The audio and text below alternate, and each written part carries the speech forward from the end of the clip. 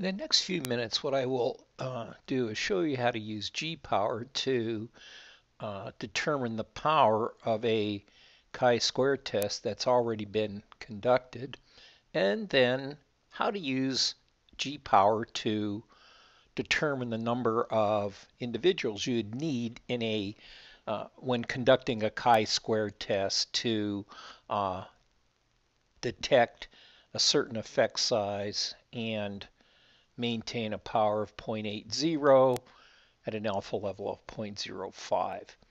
So for this example, Mrs. Johnson ran a chi-square analysis to answer her research question.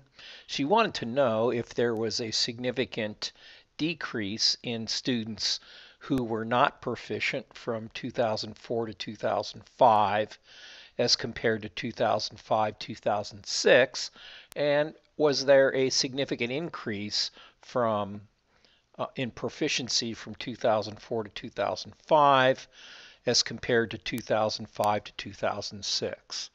And so when she ran that chi-square, she found there was a significant relationship. However, we don't know the power of that particular uh, test. Uh, I mean, we could run this example in SPSS, but SPSS does not give us the power. So if we open up G-Power, we can uh, determine what the power of this test might be. So we go to uh, chi-square tests. We want to go to chi-square goodness of fit contingency tables.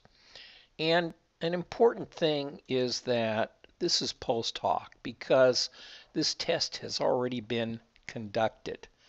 And so she reported an effect size of 0.224, an alpha of 0.0, and the sample size was 36 because we had 18 in the 2004-2005 school year and 18 in 05 and 06. So we'll put 36 in there. Now the degrees of freedom is 1 because our degrees of freedom are determined by uh, the number of rows minus 1.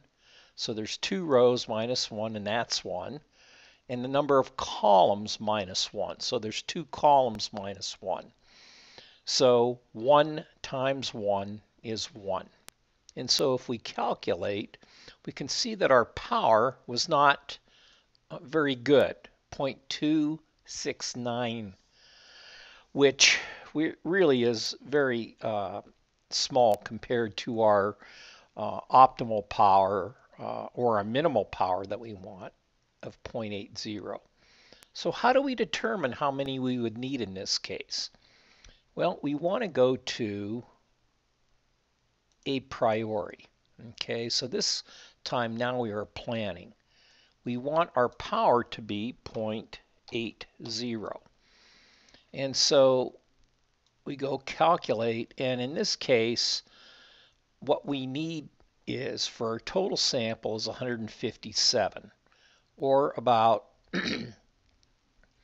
76 uh, individuals, 77 individuals per group. So this would allow us to detect an effect size of 0.224 and maintain a power of 0.80. Now, the other question is um, if we want to detect a smaller effect, let's say Mrs. Smith wants to detect an effect size of 0.10. So, are there enough students between both classes for her to detect this type of an effect? So, we put in 0.10.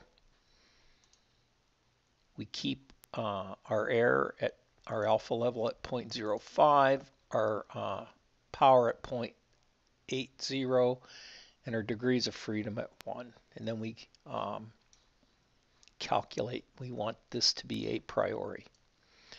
So clearly, there's not enough. We would need 785 in the total sample. So we would need to divide 785 by 2. That would be the number in each group. So the smaller the effect size, the larger the sample size. But let's say that we wanted to pick up with one degree of freedom. Let's say we wanted to pick up a large effect, even a moderate effect. We could put in 0.30, keep our power at 0.80 or a type 1 error rate at 0.05, and then calculate. So we'd need 88 or 44 per group, which is a very reasonable number to expect. And so, you know, if I were planning a study and I were going to use chi-square, I think perhaps that I would at least want to detect a moderate effect.